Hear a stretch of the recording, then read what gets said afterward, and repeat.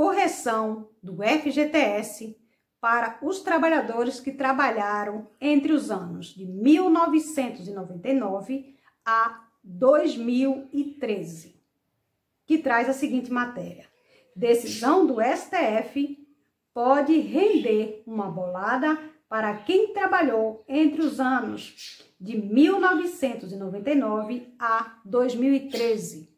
Porém, as pessoas estão trazendo esse texto sem observar um ponto muito importante. Olha só.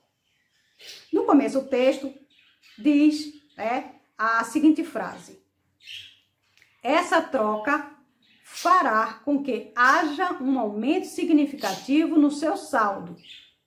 É o caso do trabalhador que não tenha entrado com uma ação, mas ainda dá tempo.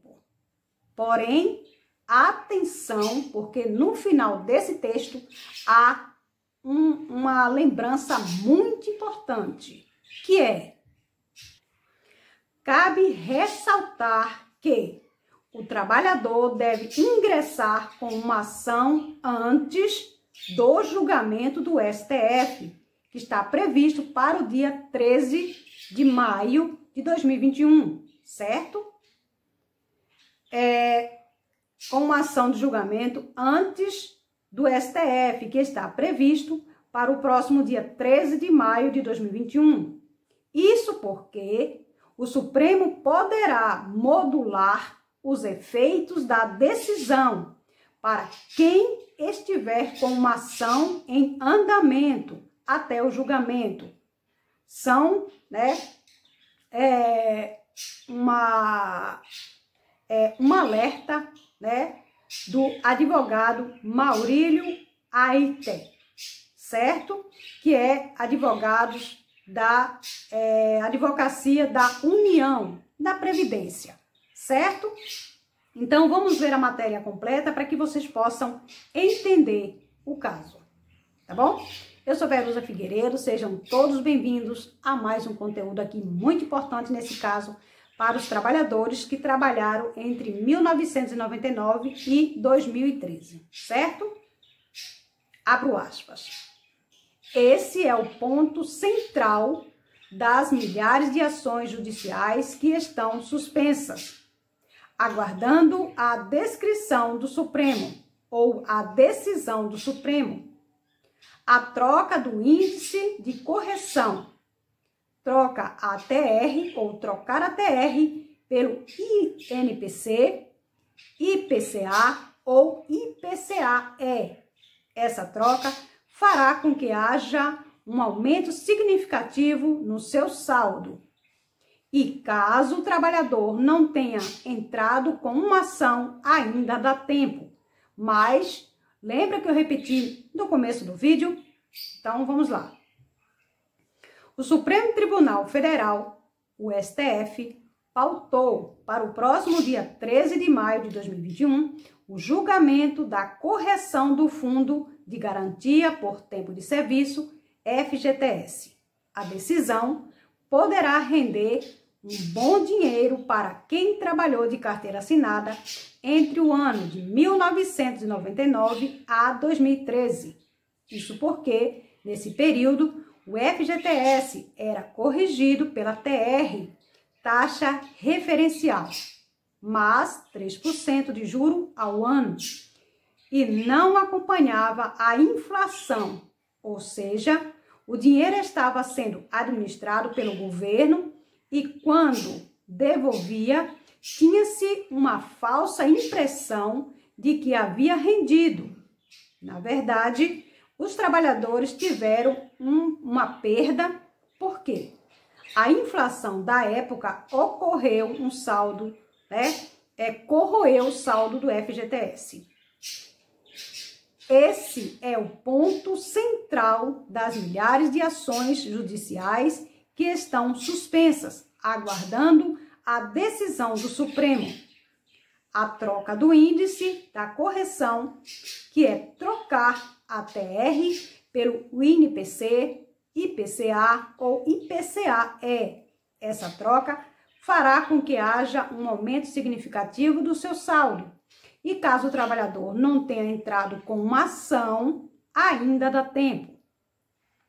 Uma informação importante que aumenta a expectativa por um julgamento favorável é que o STF recentemente disse que a ATR não é índice que acompanha a inflação e por isso não pode ser aplicada para corrigir os precatórios. Ele determinou que o INPC deve ser aplicado nesse caso. Precatórios são valores do governo que deve a quem ganhou uma ação contra o governo.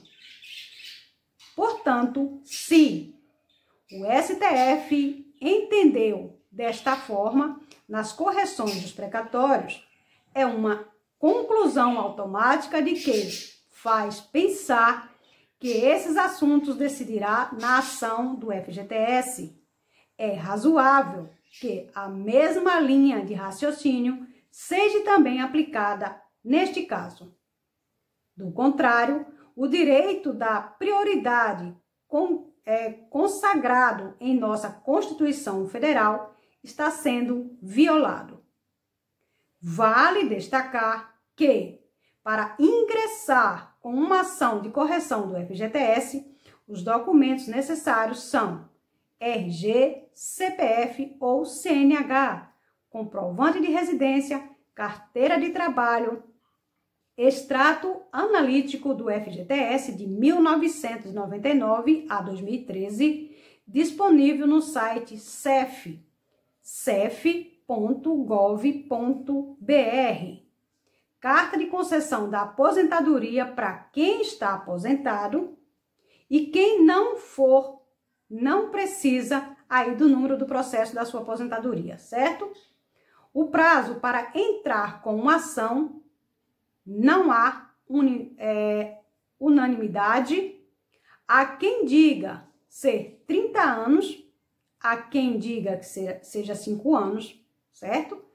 No caso do Superior Tribunal de Justiça, o, SJ, o STJ tem posicionamento no sentido de que são 30 anos.